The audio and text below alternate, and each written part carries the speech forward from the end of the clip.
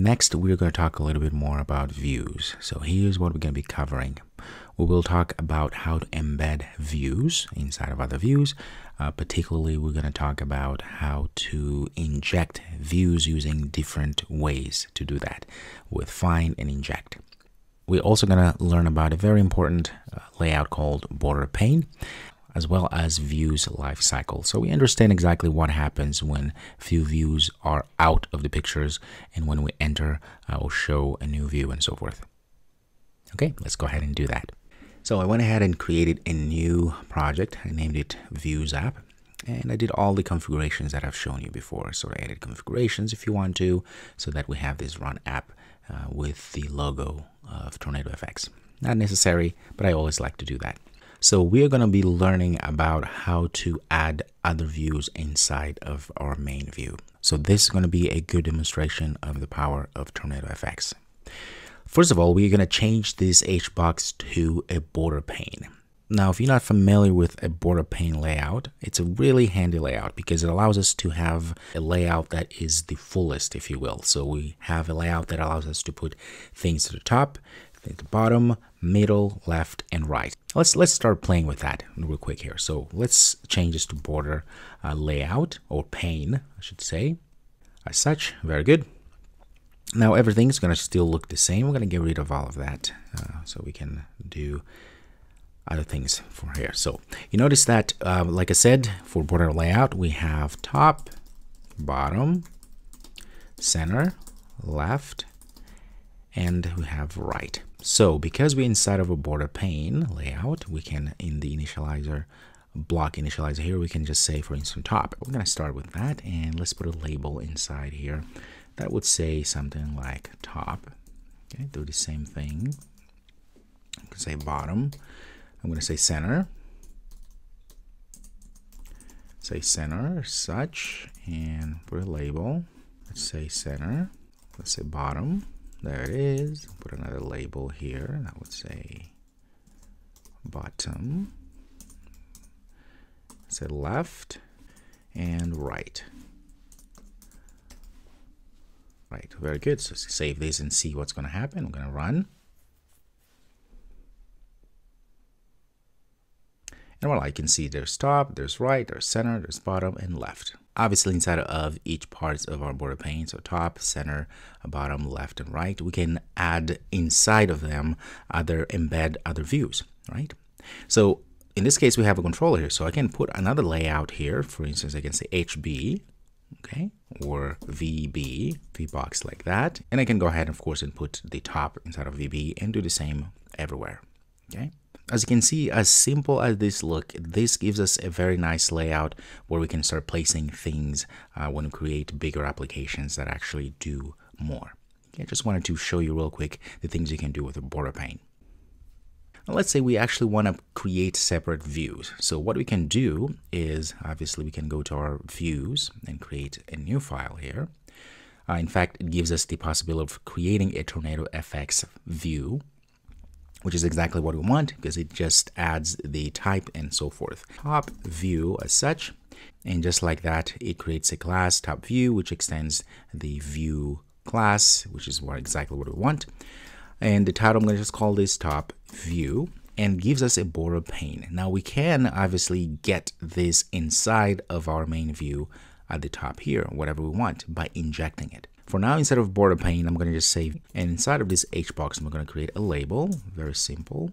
Say my view, and then I'm going to create, I can create a few buttons here. So I can say button one is going to click, say menu like that, and button two Can say file. So in this case here we have our top view and we want to be able to invoke it or inject inside of our main view. There's a few different ways to embed views. I'm going to show you the first one. So let me go ahead and get rid of this, this syntax. So for the top, I can say top.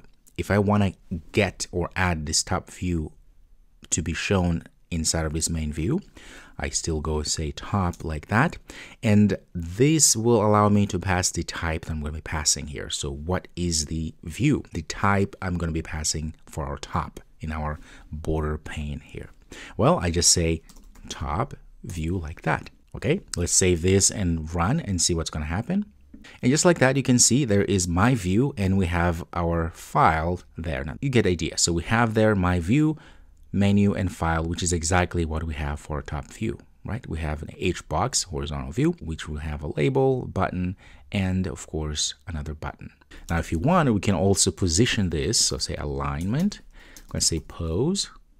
I want it to be in the center, in the middle top center there. Let's run this real quick. And you can see now it moved the entire view at the top center there. And of course, if I want it, we can also go and say spacing that and give it about 16.0 has to be a double. And voila you can see there's very nice spacing there. So as you can see here we have embedded a top view inside of this main view. Okay? What I want you to do before the next video is I want you to do the same thing we did here. So I created a top view and I added a few elements inside and I embedded that inside of our main view I want you to do that with center or bottom go ahead and be creative and do that very well. So what we would do is go to view. I'm going to create a bottom one. Tornado FX view there. Call this bottom view. There we go. And instead of a border pane, I'm just I can also just pass a control such as label. Okay, so we have our footer label there, so we can pass that as well. And back to our main uh, inside of our bottom here, we can just get rid of all of that. And just pass our bottom view like this and we can see it says footer at the bottom there. You can see now we have this amazing flexibility of embedding views inside of other views, in this case inside of our main view. Now this doesn't stop here.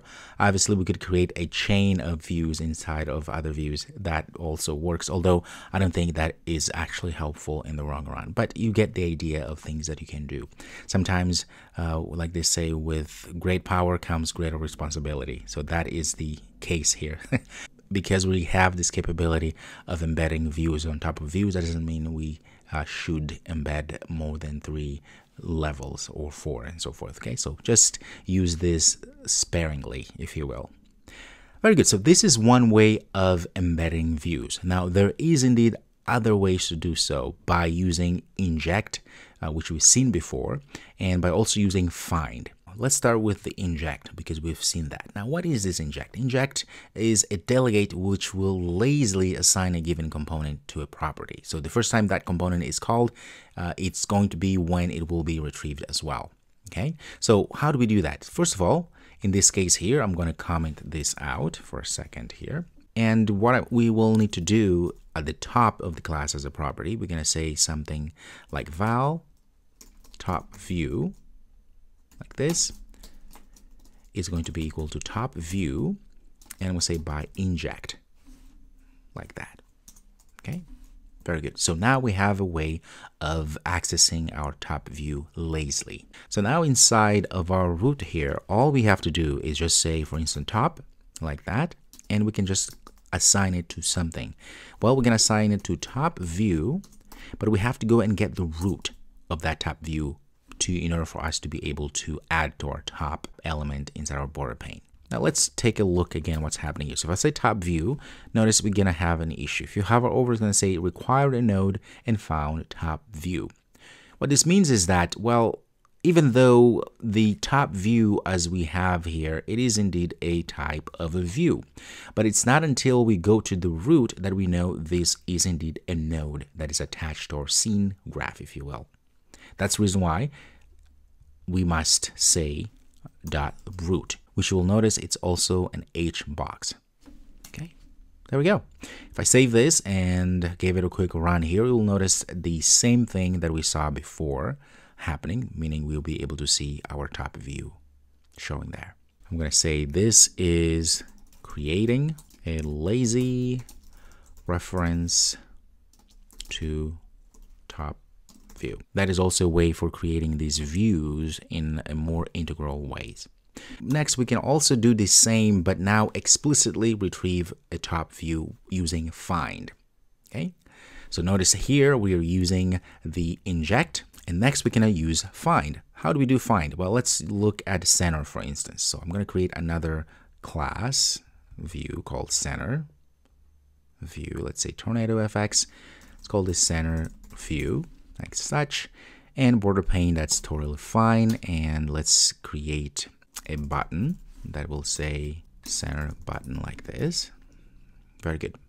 And back down here to main. Instead of having all of that, I'm going to just get rid of all of this.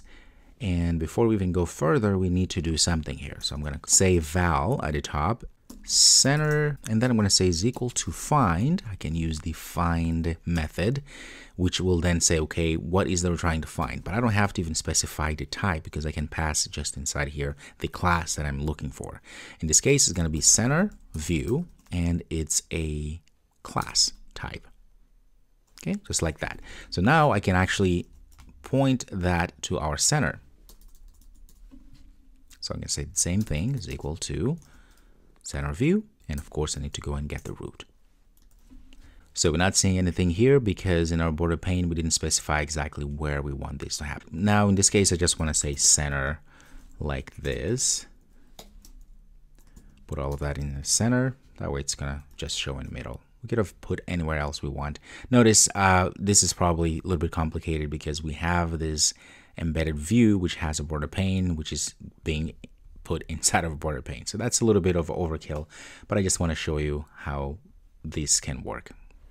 Not necessarily an ideal way, but it's possible that you may need to do something like that. And voila, you can see now we have that center bottom center button showing up there. Now we've learned how to embed views. Uh, the first one we learned was by inject okay? And the second one was by using explicitly going and finding the actual class which then we pass on to our view. Both ways it's totally fine but you will see most of the times we're going to be using by inject because there are a lot of advantages to using inject because of it being able to lazily uh, invoke or create those views on top of other views and so forth so go ahead and play around with this concept. Now let's go ahead and, and look at the, some of the time. internal override methods we can use in any of the views or uh, any of the UI components that we create. So as a view goes from the beginning to the end, meaning uh, the time that users are able to see it, such as when we click run and we are seeing things, and to the time where we click out of it and we destroy the object or do we destroy the view? So there's a lot of things that do happen. One of the things that I love about our IDE here, uh, IntelliJ. I'm sure other IDEs have this capability, but I just enjoy um, this particular IDE. Is that if you say Command N like this, right? And go to, you can go to override methods or implement methods. Let's go to override methods, right? Which will pertain to our main view here because it inherits from view class. If you hit enter, there's a lot of things that show up here. So these is the Tornado FX UI components. These are pretty much all of the methods and properties that we can invoke or and or override. Now let's pay attention to all these methods, okay? Notice we have this undock or on undock this on tab selected, on save, refresh, and many, many others. Now, some of these are not going to be necessarily useful if you are inside of a generic view, such as this on tab selected. This would work if you have tabs, obviously. Okay. On refresh as well, and many others. But these on dock on create or on before show and on undock these can be used inside of any view such as this. Let's start with the undock. Let's select it and there we go. So what we're going to do i'm just going to go ahead and print something very simple. I'm going to say like that. And I can also start by just typing. If I say doc like this notice I can just go hit enter and there we go. I'm gonna go ahead and say print dock very good. What else do we want? Let's go back to our override methods. This on before show, on create. Let's look at this. Let's go on create. I'm going to say print on create. Very good. On show, before show, there it is. I'm going to just go ahead and call this print before show. Very good. I'm going to open our debug here so we can start seeing hopefully things that would happen. So I'm going to run. Let's keep our eyes right here. Look at that. It went says before show right even before this showed we saw that this before shows what's run and the moment that we are able to actually see our view it's called the dock when i go when i went ahead and call the dock here which is on dock really okay? So this tells us a lot of things because now it gives us an idea of things that happen as we run the application. In this case, we can now understand exactly when, for instance, do we prepare assets, if our app needs some sort of assets. And we also know to understand, okay, by when exactly do we have to have those assets or anything that we need to prepare for before our view is on dock, meaning users are able to interact with our view. Does that make sense? So now we know that any code that we need to run after everything is prepared obviously it's going to be on dock. So the moment on dock is called, that means that's when everything is set up. The view, the tree, uh, the children, everything is set up in the view uh, and ready to go.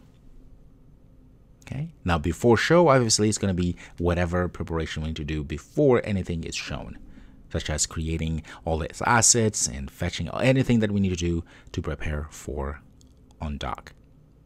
Now what happens if we click out of it? Look at that it goes ahead and called the undock. So whenever we remove the view from our tree, in this case we exit out of it, it calls the undock to terminate the entire application.